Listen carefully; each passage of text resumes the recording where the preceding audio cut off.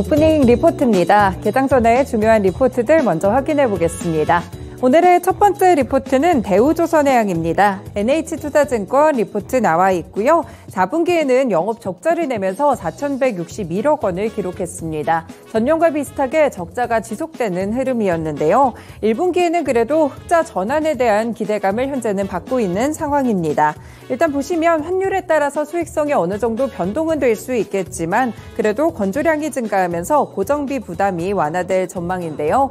그리고 업황도 살펴보시면 주력 선종인 LNG 선의 조선가가 크게 올라가고 있습니다. 경쟁사가 수주한 LNG 선의 가격은 최근 척당 2억 5,500만 달러까지 올라갔는데요. 여기에 LNG 선의 신규 프로젝트도 많아지고 있습니다. 환경 규제로 인해서 노후 LNG 선의 교체 수요도 존재하는데요. 그래서 앞으로는 계속해서 발주가 늘어날 것이라는 평가를 내렸습니다. 그리고 한 가지 더 HSD의 엔진 인수를 통해서 친환경 선박의 포트폴리오를 강화하고 중장기적으로 사업을 확장할 수 있다고 평가했는데요. 긍정적인 점들 보면서 목표 주가는 3만 1,000원까지 상향 조정했습니다. 네, 두 번째 리포트 해성 DS입니다. 삼성증권 리포트 나와 있고요. 살펴보시면 글로벌 경영의 원년이다라고 평가를 줬습니다. 네, 1분기 영업이익 전망부터 먼저 체크해 보시면 319억 원으로 전년 동기 대비 34% 정도 감소할 것이라고 보고 있습니다. 일단 1분기 실적을 저점으로 해서 회복세로 전환할 것으로 보이는데요. 현재 자동차의 반도체 기판 쪽은 견조한 수요를 보여주는 가운데 IT 제품과 서버형 제품의 고객사는 lead time의 정상 화를 요구하기 시작했습니다. 그래서 1분기에는 영업이익 319억 원을 기록하고 영업이익률도 16%에 달할 수 있다고 평가했습니다. 제품 구성을 현재 달리하고 원재료의 비용을 낮추면서 프로세스를 개선하고 있는데요. 현재 필리핀 공장을 인수한 이후에 재정비에 들어가 있습니다. 하반기 이후에는 고객사 다변화와 제품 다변화를 통해서 모멘텀을 제공할 것으로 보는데 특히나 일본의 고객사를 확보할 수 있을 것이라는 전망을 내놨습니다. 이에 따라서 목표 주가는 5만 7천 원까지 상향 조정했습니다.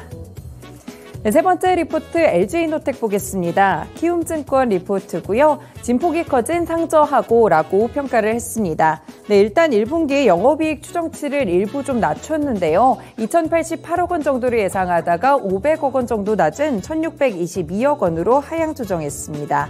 광학솔루션과 반도체 기판의 영업 환경이 예상보다 현재는 부진하게 흘러가고 있고요.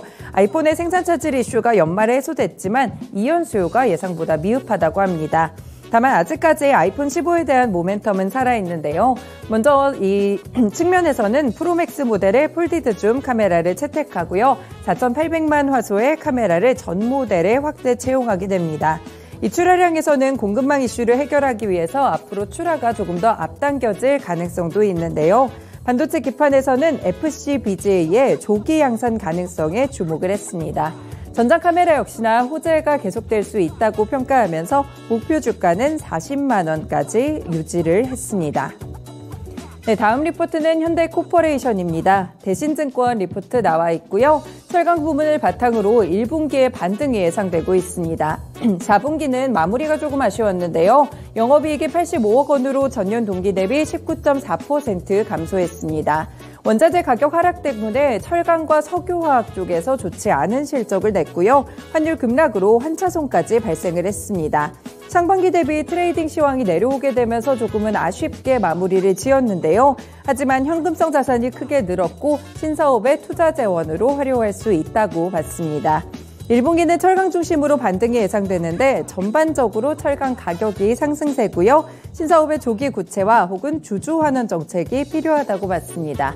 목표 주가는 2만 5천 원을 유지했습니다.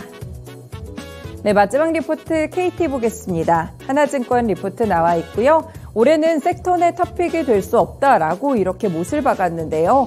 일단 구현모 CEO의 연임은 물 건너간 상태입니다. CEO 리스크를 조금 더 크게 봤는데요. 이 때문에 KT의 영업이익 성장은 장담하기가 어려워졌습니다.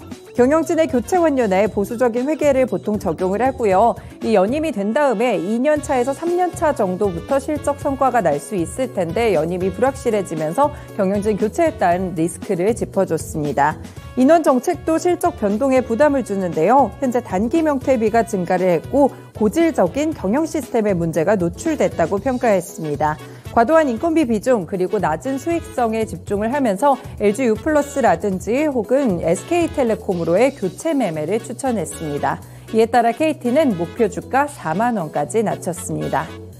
네, 이렇게 오늘도 다섯 가지 리포트 살펴드렸습니다. 오프닝 리포트였습니다.